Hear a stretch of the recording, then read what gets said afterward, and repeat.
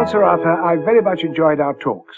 They've been fun, haven't they? Yes. And now we come at last to your final gift. And what's that? My last gift, I'm sure you've guessed it, is twelve lords a leaping. Why have you chosen that? Well, as a Christmassy thing, really, to remind us all in this season of goodwill of the twelve wise lords who came leaping into the stable at Bethlehem at the birth of our Saviour. I don't think they did, Sir Arthur. Oh, yes, boing, boing, boing, as in the carol. No, I'm afraid you're mistaken. Are you sure? Yes, quite certain. Last, oh dear, I... so confusing. Um, now, never remember who was in the stable. Must have been uh, the uh, the hens, was it? Three hens? No, uh, oh, sorry about this. Was it the goats?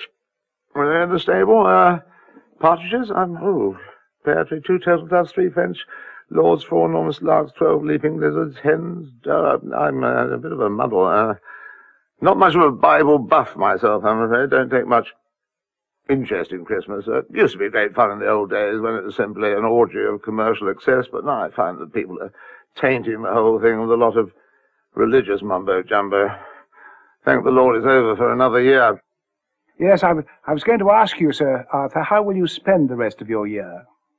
Oh, well, uh, the rest of the year. That goes completely into preparation for the Greebling Fete. I have to go around putting signs up on all the trees saying August the 4th, Fete, to get the villagers interested. I always start putting these up good and early on about August the 5th, generally, as soon as the previous Fete has lumbered to a close. I like to give plenty of notice. You raise a lot of money for charity, I understand. Oh, an enormous amount, yes, an enormous amount, because fortunately we have very low overheads. What we do is we simply throw open the grounds and invite villagers in to buy nettles, grass, goats, sparrows, worms, flies. Anything, in fact, that flourishes in the garden is theirs for under a fiver. That money is then ploughed back into my bank account. Do you have stalls for the produce, or is it more pick your own? We find that people get more pleasure in picking their own and in pursuing the worm, particularly on their own. That is a lonely sort of hunt. The excitement, that, that sort of thing. Pick your own nettles is, is quite popular, I suppose largely because the sign says mint. As a result, we sell an awful lot of dock leaves.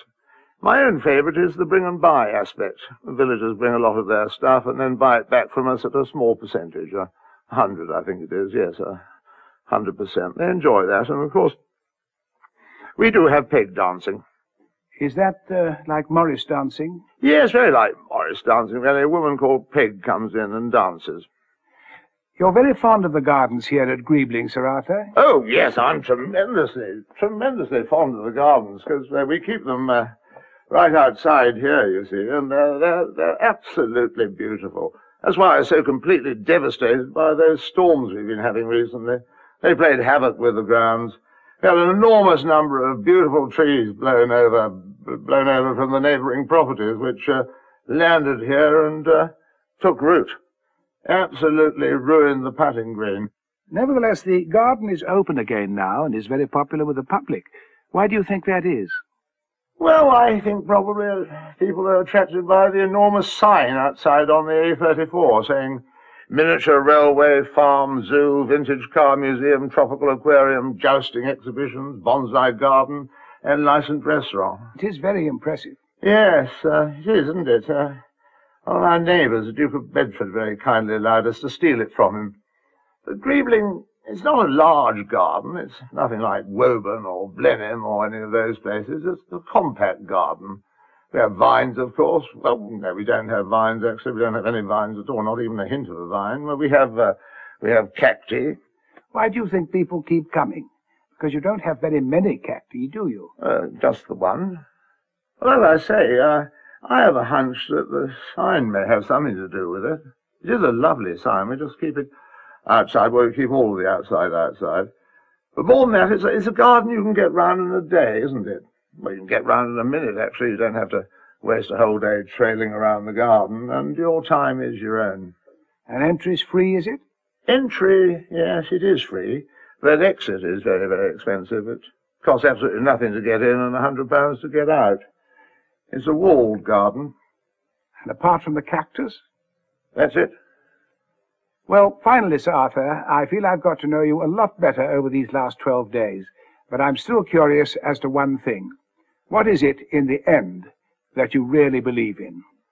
Well, um, I'd like to say I believed in God, of course, but I'm afraid as a thinking person who cares about the world around him, there are two very good reasons why I simply can't. What are they? Well, A, wasps. Can't see the point of a wasp, can you? Absolutely pointless. And B, caviar. I mean, really, what is the point of having caviar locked away inside sturgeons, so inaccessible? I'm sure if there were a real God, he would have arranged for caviar just to toddle over to your house on a pair of little legs in a self-opening jar. Sir Arthur, thank you. Oh, thank you, and uh, season's greetings to you and, uh, of course, your family.